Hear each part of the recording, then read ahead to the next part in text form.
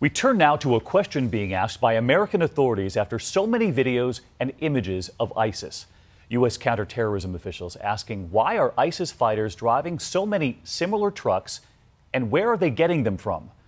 Look at these images.